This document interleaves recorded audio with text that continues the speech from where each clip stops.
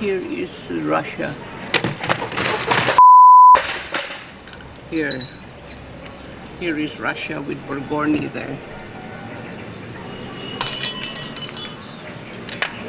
And here is Mrs. Mao.